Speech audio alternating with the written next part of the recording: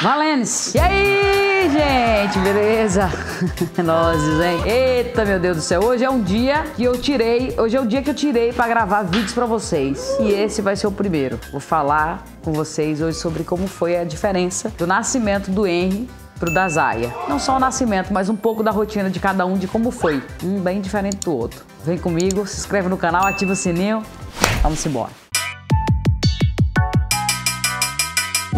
Gente, é o seguinte, quando o Henry chegou na minha vida, na verdade eu acho que eu contei para vocês já que o Henry a Zaya é promessa de Deus na minha vida. Uma serva de Deus foi usada 10 anos atrás para dizer para mim que eu teria um menino e uma menina. Deus é fiel. E ele não é. E aí, quando eu engravidei do Henry, na verdade eu tinha muito medo de engravidar porque eu viajava muito, fazia muito show. Era de uma cidade para outra, era no interior, daqui a pouco na capital, daqui a pouco não sei aonde, e de ônibus. E era de todo jeito. Só não ia de jegue porque não, não, não, se tivesse, nós também subia e ia-se embora. E eu vivia fazendo show, rodando o Brasil inteiro fazendo show. E eu tinha muito medo de engravidar. Até que um belo dia, meu lindo esposo, bota a foto dele aí, resolveu jogar fora o meu anticoncepcional para eu engravidar do Henry.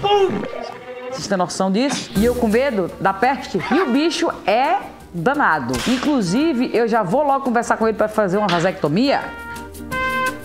Em nome de Jesus, ele é bonzinho. Mas vou ter que conversar com ele porque é o seguinte: o bicho é bater o gol, não tem mais conversa. Não tem mais menino. É ligeiro, o menino é ligeiro com ele. Resolveu, gol. E aí, veja só, ele pegou um belo dia, jogou os meus anticoncepcionais fora, num riozinho lá que tinha um negócio lá e jogou. Resultado, engravidei do Henry. E aí eu comecei a viajar muito. Só que a gravidez do Henry foi uma gravidez muito difícil. Não só por conta das viagens, das noites de sono que eu perdia. Fora isso, eu tinha muito enjoo, azia virado no satanás. Eu tinha, é, que mais? Engordei virado na peste. Olha, foi bem punk a gravidez do Henry. Bem difícil. Eu vomitava mais do que um cara. Olha, não sei. Menino novo, golfando. Bem tempo todo? Putz. Direto, direto. Não, fui até os nove meses enjoando. Você imagina que difícil foi a minha gravidez. E ainda mais rodando e perdendo noite de sono. Foi muito difícil. E eu cantei até o último mês do Henry. Eu buchuda, pariu o Henry e no palco fazendo show. E tinha que cumprir a agenda, não podia faltar. E eu sempre fui muito responsável nas minhas coisas. Então eu tinha que fazer show. Então ali eu viajei os nove meses até que o Henry nasceu. E aí eu resolvi, no primeiro instante, é, não chamar ninguém para ficar com o Henry. Ué? E aí eu, bonita lá, vou ficar acordando às noites, vou cuidar do meu filho. E depois, um pouquinho mais para frente, eu procuro uma, uma ajuda para mim, né? Aí, veja bem, primeira noite, segunda noite, com 15 dias os olhos estavam trocados, ardidos, sofridos, porque pensa num trem difícil, é recém-nascido. E ele acordava muito na madrugada, muito. E aí eu fui entender que esses acordar do Henry era porque eu tinha pouco leite, eu não tinha leite suficiente para satisfazer o Henry. Aí a pediatra dele um belo dia disse: "Só minha filha, dê mais 20 ml aí para ver se é a falta do leite". Tá bom. Tá bom. Oxe, aí foi quando ele dormiu direitinho, três horas seguidas, para acordar de três em três, aí a coisa ficou melhor. Só que nesse período, já perto de, de 30 dias, eu tinha que voltar pro palco. E aí eu chamei uma moça para me ajudar. E aí, essa, essa moça me ajudou, depois uma tia ficou comigo e depois a Leda que vocês conhecem já está comigo há anos, né? Aí veja, o Henry, ele dava trabalho, mas o trabalho natural de uma criança de acordar na madrugada para tomar o seu leitinho, né? Mas ele era uma criança boazinha. Nas vacinas ele não chorava. Não é que não chorava, ele chorava. Mas as reações, ele mesmo que ele tivesse uma febrezinha, alguma coisa, ele não era um menino que ficava para baixo. Ele era um menino animado. Ele quis falar muito rápido, muito cedo. Ele sempre foi muito inteligente. Ele falava, é, ele, acho que a primeira palavrinha do Henry, acho que com tem até um vídeo na internet que eu, que eu fico papá, papá, ele com seis meses, bem bolado, eu achei que foi papai, enfim. E aí, o Henry sempre foi muito pra frente, sempre foi um menino muito inteligente, sempre fez de tudo. Ele, ele se parece muito comigo, ele é muito engraçado, ele quer gravar vídeos pro canal, ele pede pro pai dele todo dia um, pra, pra, pra fazer um, um, vídeo, um vídeo não, pra fazer um canal pra ele no YouTube. E se ele me ver com a câmera ligada, ele já vai lá com a carinha logo pra aparecer pra gravar. Ele é todo pra frente. Eu acho que a Zaya vai ser, vai vir no mesmo caminho. Agora com a Zaya foi diferente. A Zaya eu já tive uma gravidez mais tranquila, afinal de contas, eu engravidei na pandemia. E eu eu contei para vocês que no dia que eu decidi engravidar da Zaya, eu só cheguei no Cacá e disse, meu amor, bora, eu estou no período fértil. Ele disse, deixa comigo. Ora, menino, foi no banheiro tranquilo, gol, pô, laço. Pensa no trem maravilhoso. e aí veio minha pequenininha, engravidei assim de primeira. Tô falando pra vocês como é ligeiro.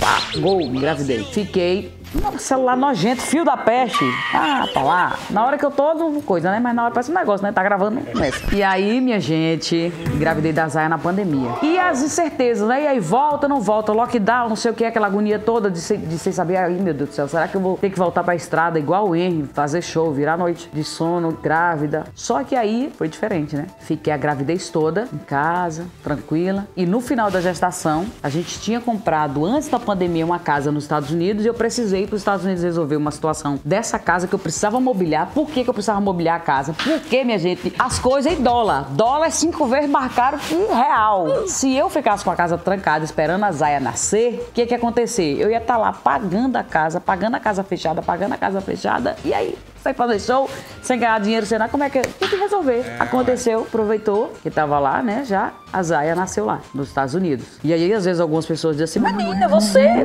você deve estar sendo Brasil, não sei o quê e tal. Minha gente, não muda o amor que eu tenho pela minha terra, pela minha pátria, pelo meu povo. Não muda em nada. E minha filha é filha de brasileiro. Ela é brasileira, o sangue dela é brasileiro. Então isso aí é só um documento.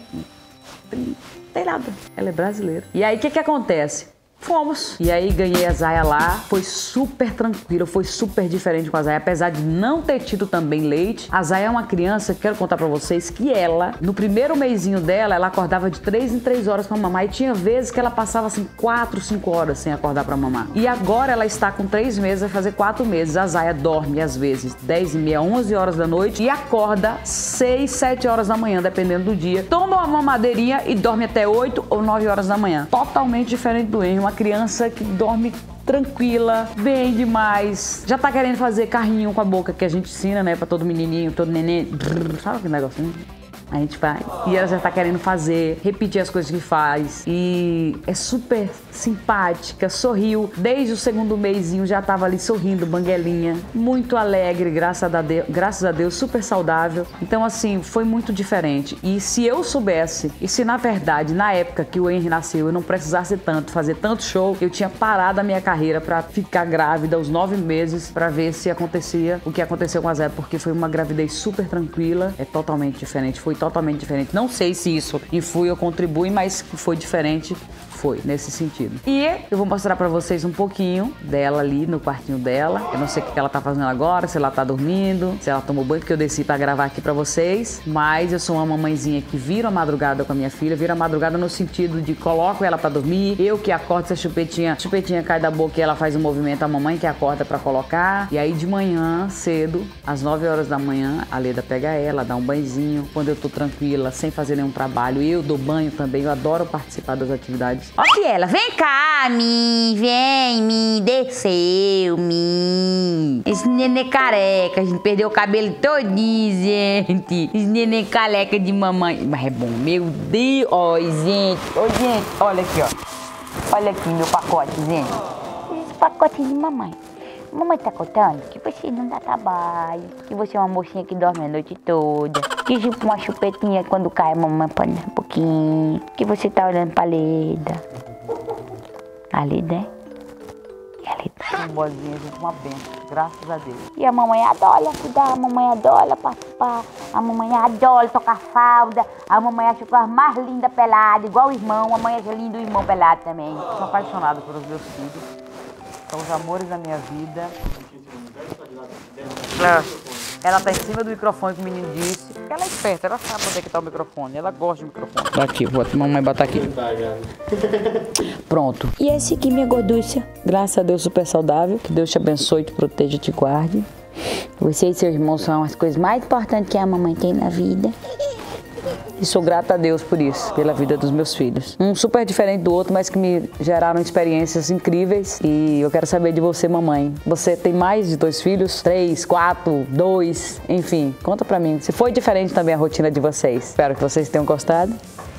Tchau, galera. Que mamãe vai cheirar agora bem muito esse neném gordinho de mamãe.